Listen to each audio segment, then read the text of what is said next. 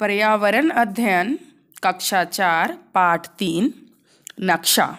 इस पाठ के माध्यम से मानचित्र तथा लैंडमार्क की प्रारंभिक समझ विकसित करेंगे। सबसे पहले हम शुरू करते हैं एलिस की कहानी से। एलिस अपने बगीचे में खेल रही थी, तभी एक पत्थर को हटाने पर वह एक नई दुनिया में प्रवेश कर जाती है। एलिस सोचती है वाह कितनी सुंदर जगह है। ये मैं कहाँ आ गई? पर मुझे डर लग रहा है। अब मैं घर कैसे वापस जाऊँगी? तभी वहाँ एक परी आ जाती है। डरो नहीं एलिस। तुम अद्भुत दुनिया में हो। घर वापस जाने के लिए आओ तुम्हें एक मानचित्र दिखाती हूँ। पर मानचित्र क्या होता है? पृथ्वी की सतह या भाग जैसे नदी, पर्वत, पुलिया, घर आदि को लघु रूप में कागज़ पर दर्शाना मानचित्रण कहलाता है। मानचित्र को नक्शा भी कहते हैं। और इस नक्शे के प्रयोग से तुम अपने घर आसानी से जा सकती हो। आओ नक्शा पढ़ते हैं। ये प्रवेश द्वार है। इसके बाद ये मार्ग राजमहल की ओर जाता है। राजमहल से होते हुए हम जादुई फवारा यानी वाटर फाउंटेन पहुँचते हैं। फिर आगे बढ़ने पर प्रार्थना स्थल। उसके आगे एक पार्क है। पार्क के बाद नदी और नदी पार करते ही निकास द्वार द्वारा अपने घर वापस जा सकती हो। क्या वापस जाने का एक ही मार्ग है? नहीं नक्शे में तुम और भी रूट या सरल रास्ता देख सकती हो।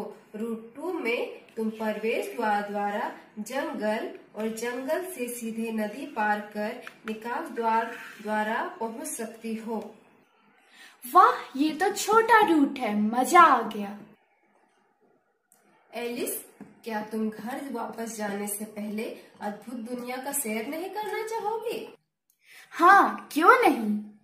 देखो यह राजमहल है जहाँ सुंदर राजकुमारी रहती है। इस राजमहल के पूर्व दिशा में जंगल है। पर ये पूर्व दिशा क्या होता है? दिशा सटीक और सही मार्ग पहचानने में हमारी मदद करती है। मुख्यतः चार दिशा होती है पूर्व पश्चिम उत्तर और दक्षिण। पर नक्शे में देखो ये राजमहल के पूर्व दिशा में जंगल है पश्चिम दिशा में फव्वारा उत्तर दिशा में नदी है। थैंक यू परी रानी अब मैं घर वापस जा रही हूँ। तो बच्चों अभी हमने एलिस के अद्भुत दुनिया का सैर कर नक्शा और दिशा के बारे में जाना। आइए अब पाठ में मीना से मिलते हैं। मीना छह साल के बाद मामा के घर जा रही है। बस से उतरते ही उसे लगा जैसे कहीं दूसरी जगह आ गई। सड़क के दोनों तरफ़ पक्के घर। पिछली बार जब मामा के घर से वापस जा रही थी तो वहाँ इक्के दुक्के मिट्टी के घर ही थे। वह बोल पड़ी, मामा, आपने अपना घर किसी दूसरी जगह बना लिया है क्या? नहीं मीना, मैंने तो वहीं अपने पुराने घर को तोड़कर नया घर बना लिया है।